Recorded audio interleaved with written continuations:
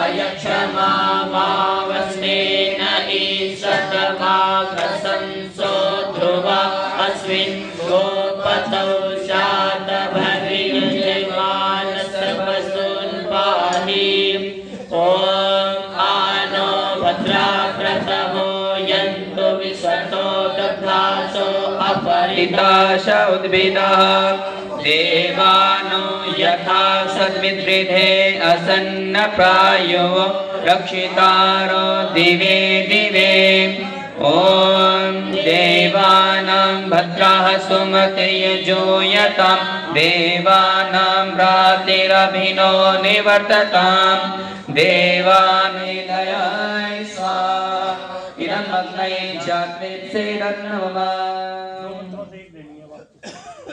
ॐ समिधाग्निं दोवशतघृतैर्वोर्धयथा तिथिम् अस्मिन् हव्या जुहोतन ॐ सुसमिधाय शोचिषे धृतं तीव्रं जुहोतन। अग्नये जातवेदसे स्वाहा। इदम् अग्नये जातवेत्सेदन्नमः तीसरी। ॐ तन्त्वा समिद्भिरङ्गिरो घृतेन वर्धयामसि। प्रियचोचाय विषयाय स्वाहा। इदम् अग्नये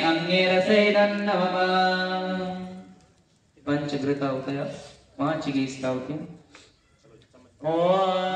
यन्तैर्मायात्मा चातवेदसेनेजस्वस्व चेत्यवर्दया चास्मान् प्रजया पशुमि ब्रह्मवर्यसेनान्द्येन समेधय स्वा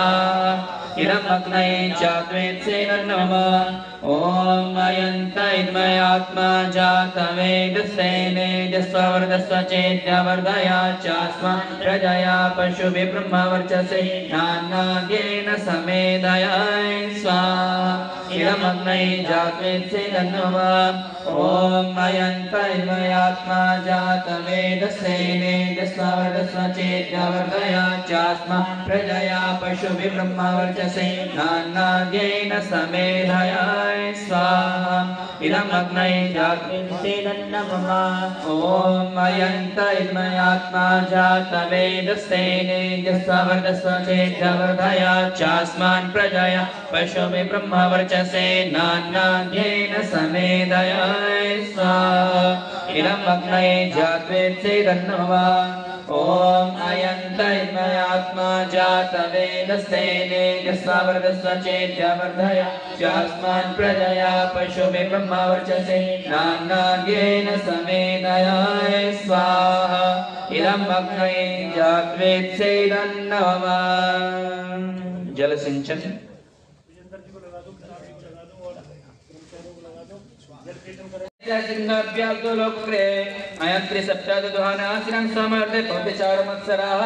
स्वाहा वेद्युरेव स्तुरौतश्रियः एवातेराध्यं मनः स्वाहा। ॐ एव रातिस्तुर्वीरमका अदाचिदिन्द्रनश्च स्वाहा। ॐ मोस्तु ब्रह्मैव तन्द्रभुवो वाचानं पते मत्स्वासुतस्य गोमतः स्वाहा। ॐ इन्द्रा विश्वाविर्दन्त समुद्रादभ्यक्षाङ्गिराः वाजानां सत्पतिं पतिं स्वाहा। ॐ सङ्गीत इन्द्रवाजिनो सत्पते स्वामभिप्रणो नमो स्वाहा। ॐ नूतयाः यदा वाजस्य गोमतः श्रोतिभ्यमं पते स्वाहा।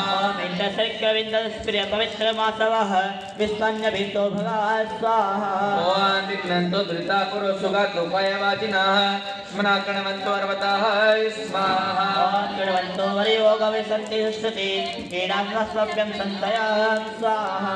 ॐ राजा मेधा विधीयते पम्मानामनावधि अन्तरिक्षेण यातवे स्वाहा। ॐ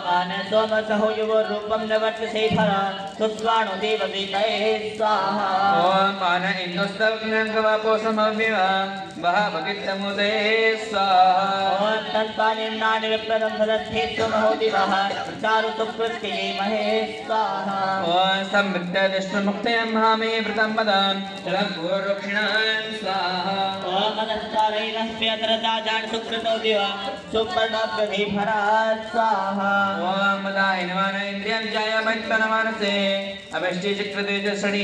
स्वाहा ॐ विश्वस्मै तत्सदृशे साधारणरस्तुरं सोपामृतस्य विभरा स्वाहा।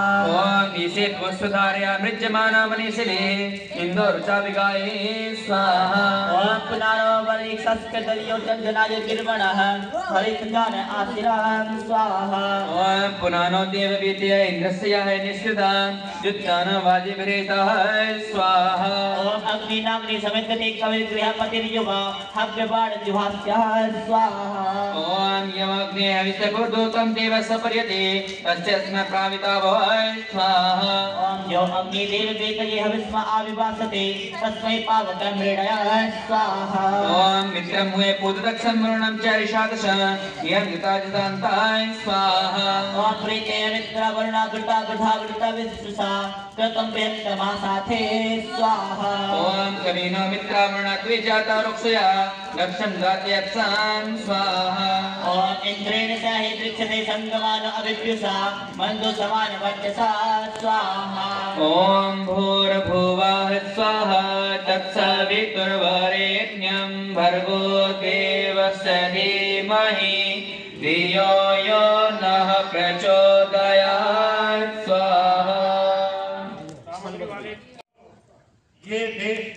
इसका नाम था आर्यवर्त, और इसमें रहने वाले लोग आर्य थे, जिनके उत्तम विचार होते थे, उत्तम कर्म होते थे, उत्तम धर्म होते थे। इस तरह की जाति यहाँ बसती थी, जिसको सिर्फ़ आर्य कहा जाता था। परंतु आज हम अपने को भूल गए हैं, कहीं ना कहीं। हमने ये सब काम भी छोड़ दिए यज्ञादि कर्म को भी भूल गए, और पीछे हट गए हैं। और कहीं ना कहीं ऐसे अंधेरे में जाकर के फंस गए हैं कि फिर वहाँ से निकलना ही बहुत कठिन हो रहा है। किसी को समझाने की कोशिश की जाती है तो उसकी समझ में भी आता नहीं है। देवताओं का वर्णन इस मंत्र में किया गया है कि देवता कितने होते हैं? तो इसमें लिखा है,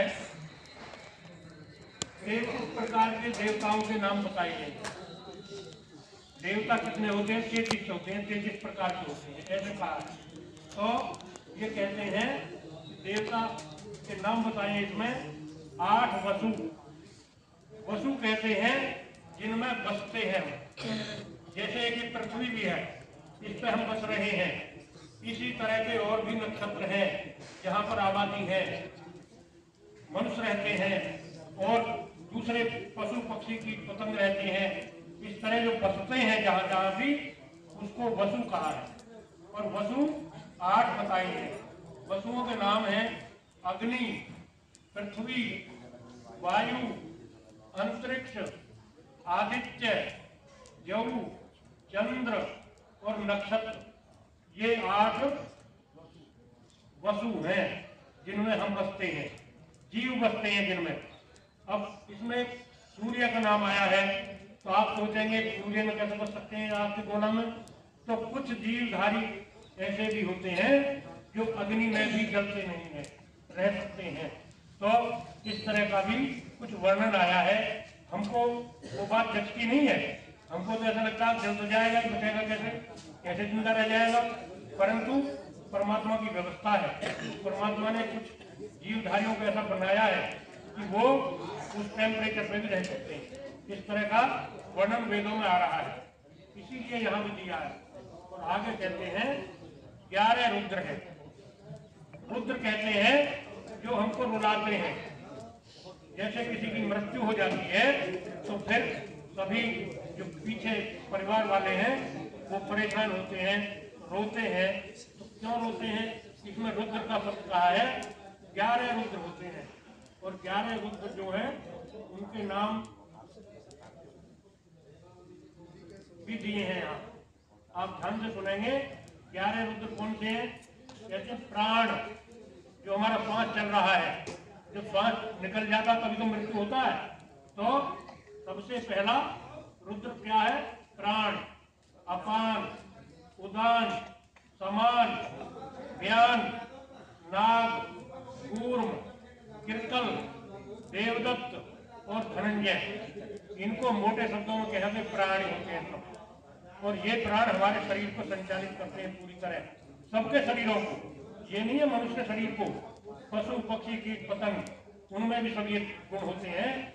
तो ये इस तरह का कहा है कि ये रुद्र है। और जब ये निकल जाते हैं, शरीर को छोड़ देते हैं आत्मा के साथ तो फिर क्लेश होता है। रुलाने वाले होते हैं हमको। इस तरह का बयान दिया है। तो ग्यारह रुद्र हैं। इनके नाम भी मैंने बताए आपको। और इसमें कहते हैं, ग्यारहवा आत्मा है। Thank you.